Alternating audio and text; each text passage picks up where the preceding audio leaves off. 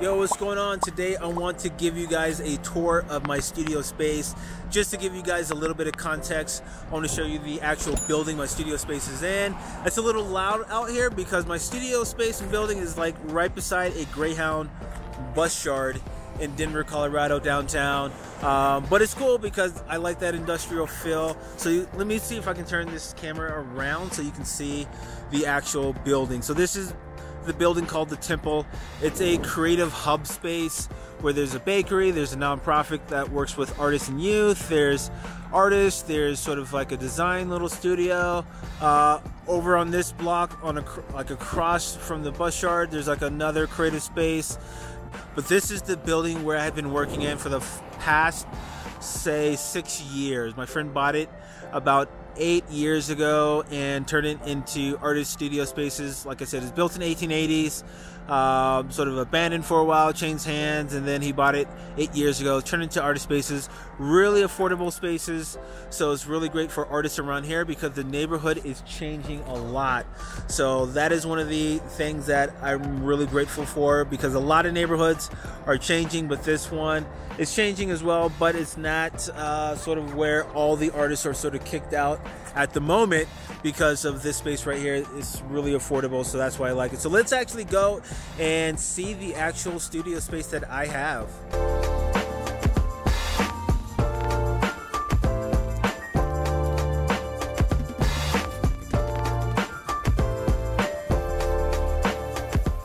So yeah, so basically this is my studio space. I have sort of like this blank wall right over here that I paint every year. There used to be something like a, uh, an interactive piece on this one that people could play. This is like my prototype wall, but I change it every year just to have something different to give like new inspiration and color and everything. I usually keep my five gallon buckets and cones and stuff like that here.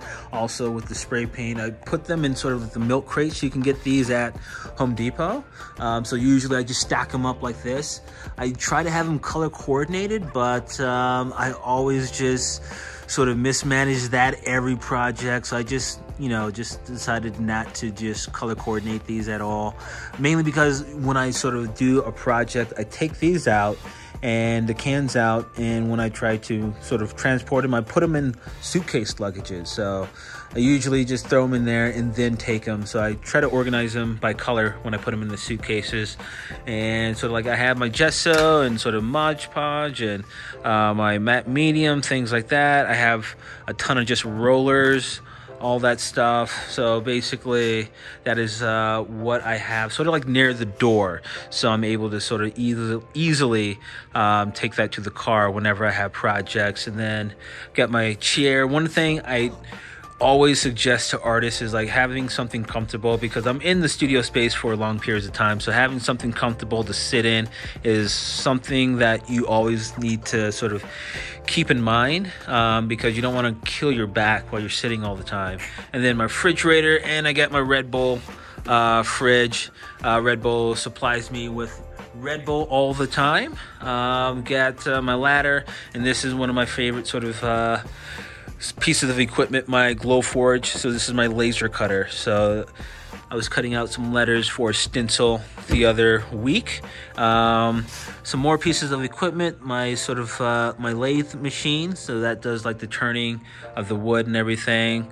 Uh, so this is like actually where I put the circuit board for the actual interactive wall where people can touch the wall and everything some like shelving space up here so not everything is at the bottom.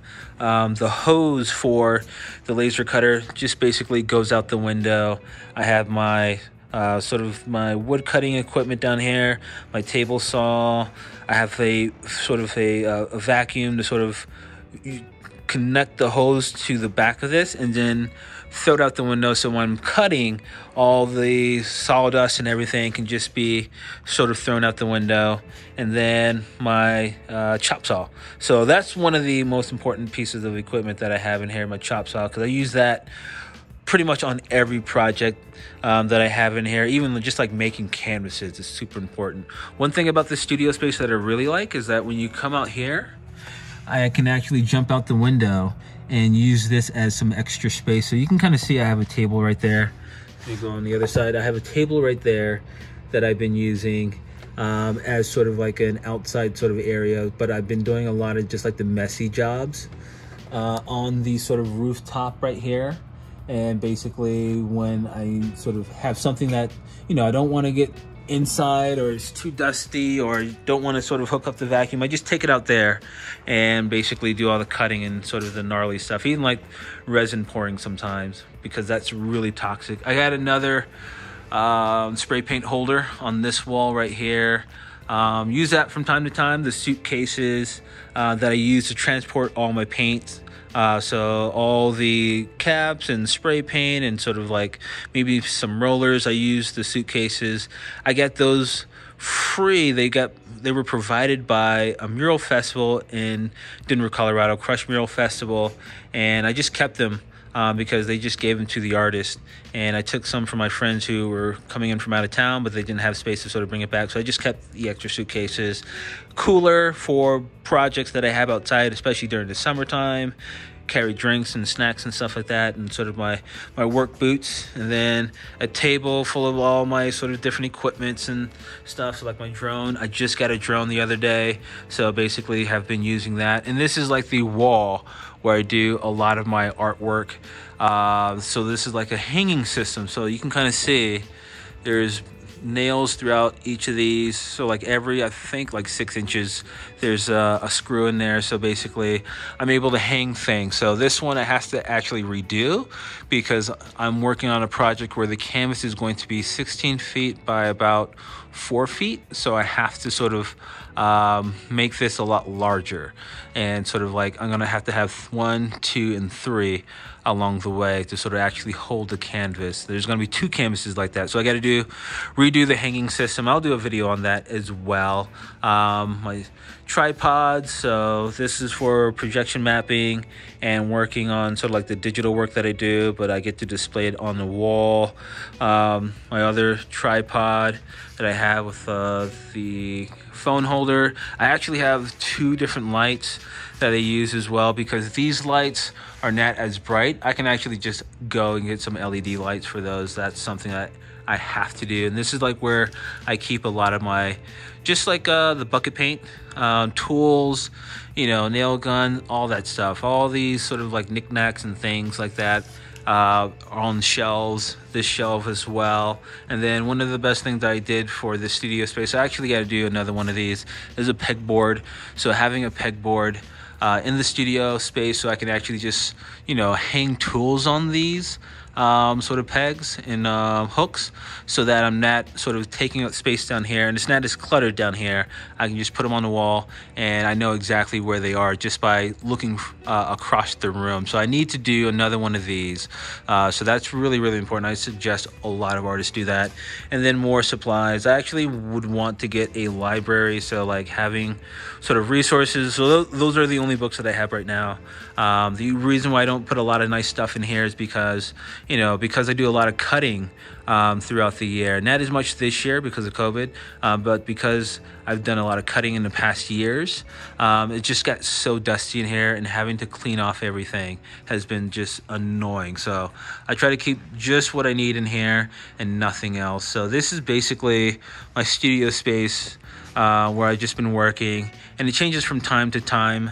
I have a desk in the middle where I do a lot of my computer work. I have two two uh, MacBooks where basically I just go through and just you know, I grind stuff out, a lot of emails, a lot of just behind the scenes type work, uh, which is like most of what I do. But this is basically my studio space and what I just been working on. Nothing sort of like in the studio right now. I'm working on um, welding. Gonna learn some welding, so I bought a welder. Just bought the gloves, a helmet, and I have a friend who's gonna teach me how to weld. I'm not gonna do it in here. It's gonna be in another space where they have sort of like a place that's made for just like metalworking. So I'm not gonna burn down this place because this place is not designed for anything um, that requires or does sparking. So I'm gonna use that in a whole nother uh, building. But uh, yeah, so this is like the wall, like I said, this is where I do a lot of my painting. This is basically the wall where I just display some stuff and experiment on my interactive work um, and just keep a lot of my sort of street art sort of tools like the, the bucket paint and sort of the, the anti-graffiti coatings, the primers, all that stuff. And then, you know, this area is like where I keep a lot of the rolled up canvases when I have it, my extension pole, things like that. Um, and then, yeah, so I mean, that's basically my studio space. So, you know, if I need extra space, I sometimes come out here and just use this space, you know, like keeping these um, pieces of wood I get at uh, the wood shop the other day, just like keeping them out here so they're not cluttering up this space right here. I'm able to do from time to time. So I'm gonna build the canvas out here and then bring it in here uh, to actually um, hang on the wall. So that's basically what um, that process is gonna look like. Hopefully it, it will give you some ideas in terms of how to you know, organize your space. I can be more organized, especially over here, but uh, also the tools that I use and how I use it. And, you know, some of the things that I've sort of been sort of um, placing my studio, like the hanging system was something that was unique um, to me in terms of just like getting rid of that traditional easel and using the wall as sort of like a hanging system to where I can just hang on the wall and it looks like it's already hung up. So it gives me more of an idea of how it's gonna look in the end. Um, things like that and sort of other tools that I have in the studio space like the laser cutter and the, you know, the saw and the vacuum going out the window, things like that. So hopefully it will give you an idea of what you want your space to look like and the tools you want to have in your space. So hopefully this video helped you out in terms of uh, the insight that I gave you about my studio space. I um, definitely would love for you to like and subscribe and hit that bell notification so that you're notified whenever I do videos. And I will see you next time. Peace.